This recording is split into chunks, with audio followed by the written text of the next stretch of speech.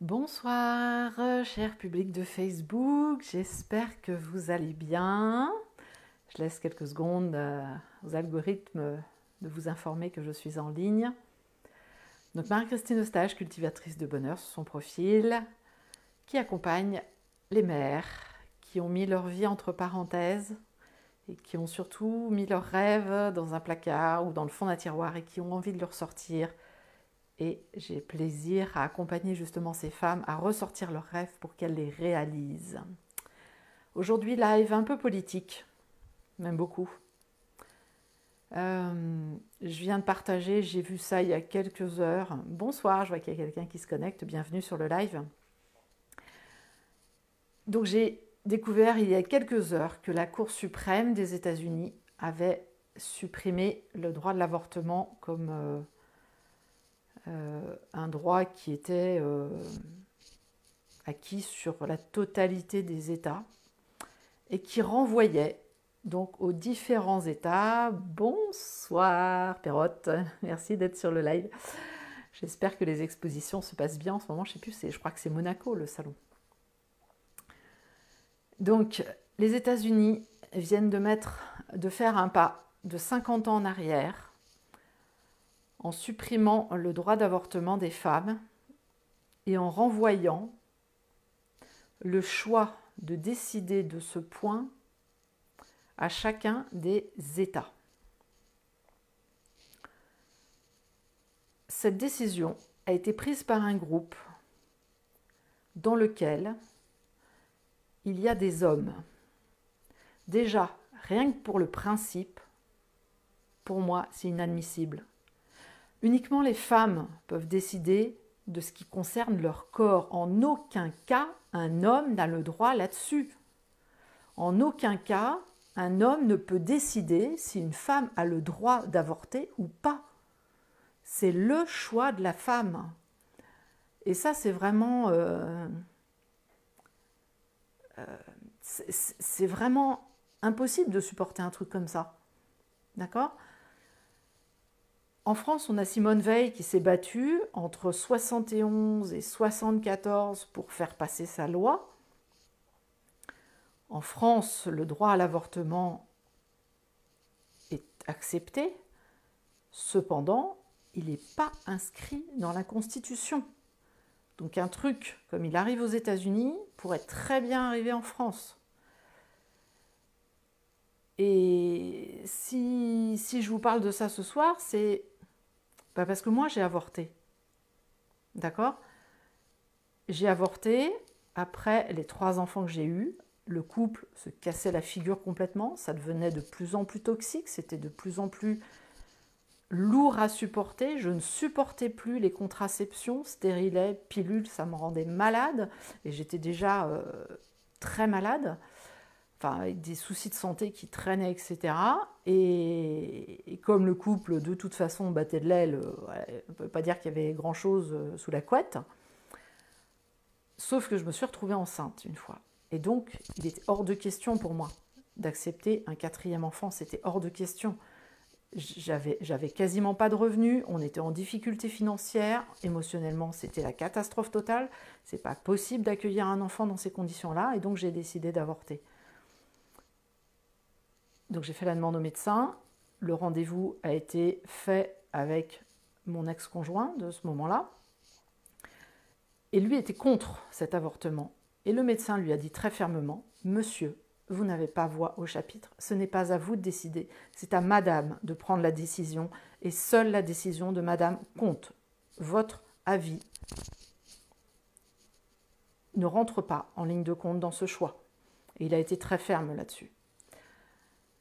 Ceci dit, au niveau de l'hôpital de Châteaubriand, sur lequel j'ai été super accompagnée par l'équipe de femmes au niveau du service de planification.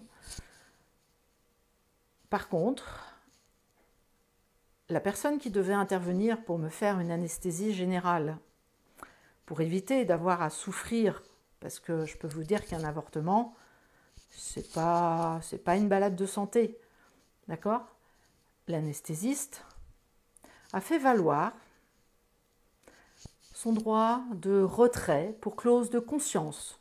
Donc je n'ai pas eu d'anesthésie. D'accord? Ça a été fait juste avec des comprimés pour éviter la douleur. Donc autant vous dire que non, c'est pas confortable.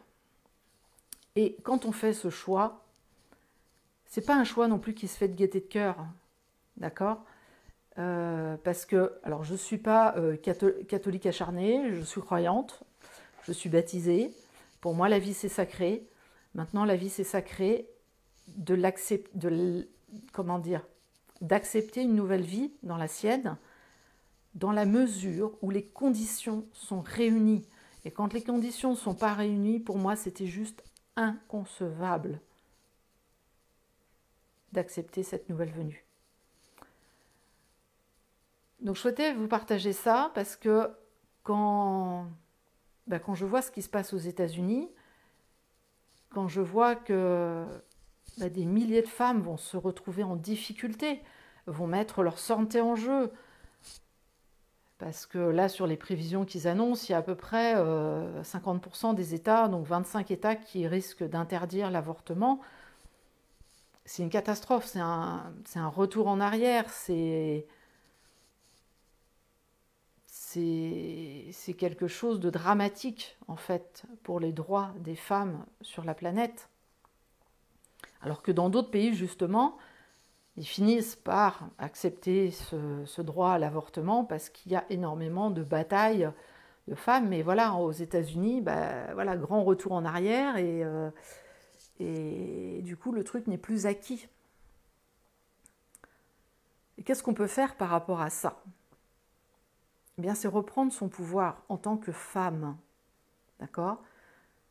Parce que c'est la femme qui a le pouvoir sur elle. Et j'ai passé des années dans une relation toxique où j'ai laissé mon pouvoir à l'autre parce que bah, voilà, je ne savais pas comment ça se passait, je ne savais pas comment faire autrement. J'avais un exemple familial qui était que ma mère a laissé le pouvoir à mon père euh, et mon père a pris le pouvoir. Enfin bon, bref, il y a eu tout un, tout un bordel au niveau de, la relation qui était assez. Euh, un vrai sac de nœuds.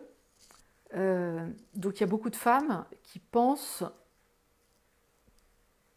qu'elles n'ont pas le droit de reprendre leur pouvoir. Et j'ai partagé il n'y a pas très longtemps avec une, une jeune femme très dynamique qui est algérienne qui est très cultivée, puisque voilà, elle a fait des études supérieures, etc. Elle, euh, elle travaille, elle a une activité professionnelle et elle dit Bah non, mais mes belles-sœurs, elles n'ont pas le droit de travailler alors qu'elles ont fait des études universitaires. Mais de quel droit on interdit à une femme de travailler, d'avoir une d'exprimer son potentiel, de contribuer? C'est pas possible. D'accord? C'est la femme qui décide de ce qu'elle veut faire, de là où elle veut aller, de comment elle veut exprimer, son potentiel, etc. Et dans le monde dans lequel j'ai mis le pied depuis le mois de novembre, Alpha Femme, donc de toutes ces femmes magnifiques qui développent leur potentiel, etc., il y a quelque chose qui est aussi très très important que je vous partage. C'est que le développement de ce potentiel ne se fait pas au détriment des hommes. C'est-à-dire que les hommes, ils sont embarqués pour ceux qui le veulent et les connaissances, le développement de ce potentiel, il est partagé avec les hommes. D'accord? C'est pas les femmes qui décident de prendre le pouvoir sur les hommes. C'est fini ça. Il y a eu pendant très longtemps, si on remonte dans l'histoire de l'humanité, il y a eu une période de matriarcat et c'est pour ça que euh, le patriarcat est arrivé dessus. C'est parce qu'il y a eu un moment où les femmes avaient pris le pouvoir sur les hommes et les menaient en bateau. Résultat, retournement de la situation, les hommes ont repris le pouvoir, patriarcat est arrivé, avec des choses encore beaucoup plus violentes. Maintenant, c'est complètement différent. C'est-à-dire que les femmes reprennent le pouvoir. Les femmes reprennent le pouvoir sur elles. Elles reprennent le pouvoir sur leurs décisions, sur leurs choix, sur leur vie. Et d'ailleurs, euh, j'ai découvert en discutant, voilà, quand on discute avec des personnes qu'on rencontre, sur le secteur de Niort, où il y a énormément de centres euh, de gestion d'assurance. Hein. Il y a euh, sur Nord, Poitiers, sur ce secteur-là, il, y a plein de, il y a plein de centres d'assurance. Il y a Mutuelle de Poitiers, à Niort, il y a Intermutuelle Assistance, enfin il y a plein de centres. Donc avec plein de postes qui sont tenus par des femmes, donc où les femmes sont libres financièrement, elles ont leur autonomie financière, eh bien le taux de divorce est beaucoup plus grand parce qu'elles reprennent leur pouvoir. Alors le divorce, ce n'est pas forcément la solution, mais quand l'homme cherche à maintenir le poids sur euh, madame et refuse qu'elle évolue, la bloque pour les sorties, la ridiculise, etc., euh, etc., c'est pas tolérable. Et c'est pour ça qu'il est important que les femmes reprennent leur pouvoir, reprennent leur souveraineté. Voilà, coucou, je vois qu'il y a du monde qui arrive.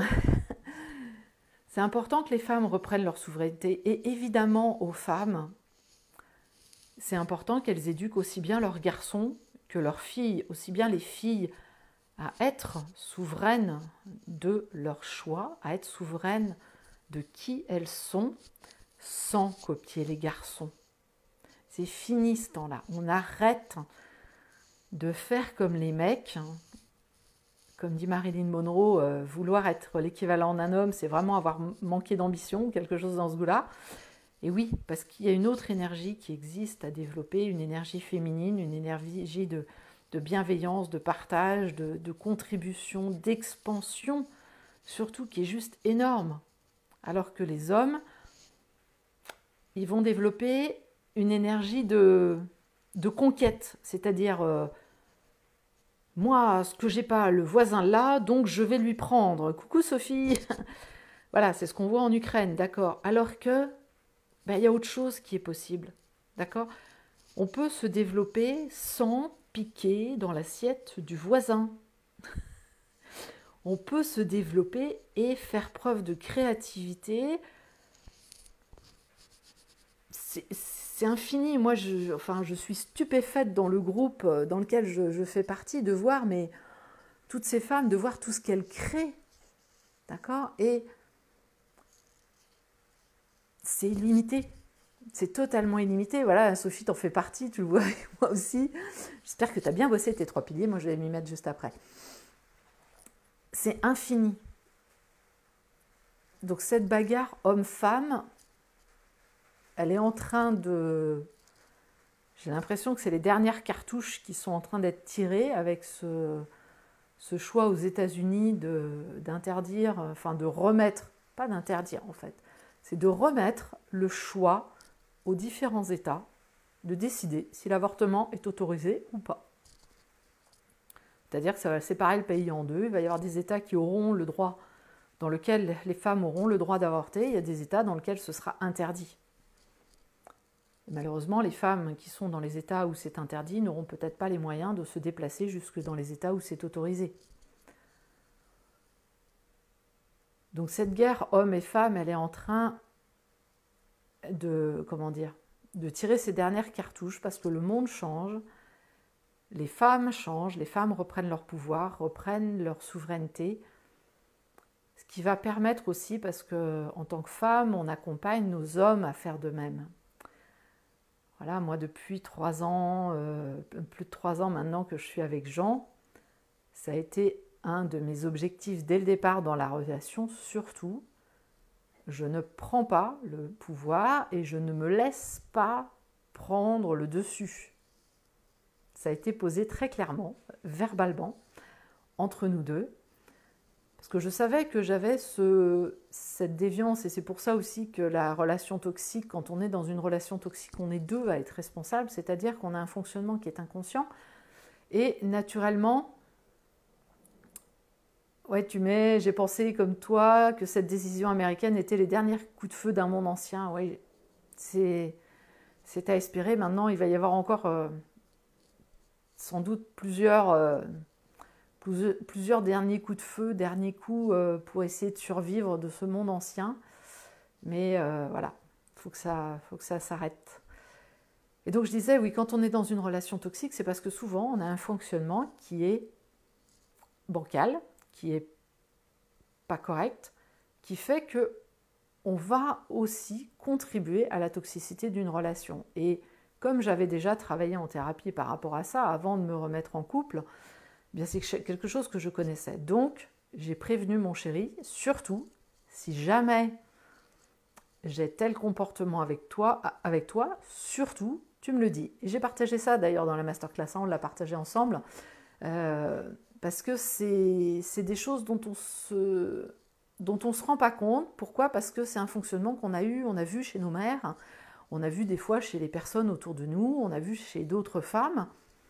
Et c'est un comportement qui est vraiment catastrophique. Et pas plus tard qu'hier encore, je parlais de cette communication que j'ai avec mon chéri, où on a une communication qui, est claire. Voilà, ce matin, euh, je m'apprêtais à, vider la vaisselle, il me dit non, laisse, je vais m'en occuper. Ok, voilà, bah, c'est bon, je vais faire autre chose. Il n'y a pas de sous-entendu, c'est-à-dire, il ne dit pas je vais m'en occuper pour, euh, pour dire je vais m'en occuper et puis après il ne va pas le faire. Non, il s'en occupe et il le fait. Si je dis à mon chéri, vas-y mon chéri, prends la dernière euh, grosse étrille parce que je sais que tu aimes ça, euh, moi je prends la plus petite, eh ben, c'est parce que c'est ok avec moi. Il va pas dire, mais non, mais attends, je te laisse la grosse, etc. Et puis enfin des, des trucs à se tordre l'esprit. Ben non, non, non on est clair sur ce qu'on dit, on est clair sur ce qu'on partage, on est clair sur la façon dont on fonctionne, et c'est ça qui permet de bien fonctionner entre hommes et femmes, d'arrêter de se faire des nœuds au cerveau, de, se faire, euh, comme nous a dit notre formateur hier, une hernie cérébrale. Alors je connaissais l'hernie discale, je connaissais euh, l'hernie euh, abdominale, je ne sais plus d'ailleurs c'est un autre nom, mais l'hernie cérébrale je ne la connaissais pas. Donc éviter de se faire une hernie cérébrale en se faisant des nœuds au cerveau et en essayant d'avoir une communication complètement bizarre, bah non, on peut faire autrement. Voilà, donc je vais vous remettre le lien pour les personnes qui ne l'auraient pas vu, euh, la masterclass justement sur les communications de couple parce que c'est important. Et aux États-Unis, voilà, au niveau de, cette Cour suprême, 9 personnes seulement sont décisionnaires pour tout un. Enfin, je ne sais pas combien ils sont de millions d'habitants aux États-Unis. Enfin, 9 personnes seulement qui décident, c'est assez. Euh, enfin, ça semble ridicule quoi de dire, mais attends, mais comment 9 personnes peuvent décider de la vie de millions de personnes? C'est voilà, c'est quelque chose qui est plus qui n'est plus acceptable en fait dans les fonctionnements d'aujourd'hui. Chacun est souverain dans ses choix, dans sa vie, et c'est ce que je partage, ce que je transmets au fur et à mesure. Et si vous avez des questions, bah, n'hésitez pas à les mettre en commentaire. Si vous pensez que cette vidéo peut aider d'autres personnes, partagez-la. Sur ce, je vous souhaite une excellente soirée, très bon salon des arts. Perrotte, l'artiste et les belles, les belles peintures. Bonne soirée Sophie aussi, au plaisir de se retrouver lundi soir peut-être pour travailler ensemble. Et puis bah, tout le monde, euh, bonne soirée aussi, bon week-end. Coucou Duncan, il vient faire un coucou. Ah bah t'arrives un petit peu tard, je termine le live, donc bah, écoute, je te laisserai retourner euh, regarder en replay. Ravi de te voir passer ici, j'espère que ça se passe bien à Nîmes, dans ta nouvelle maison, on voit les travaux qui avancent et tout, c'est top, c'est chouette. Voilà, grosse bise tout le monde, bonne soirée, bon week-end et à très bientôt.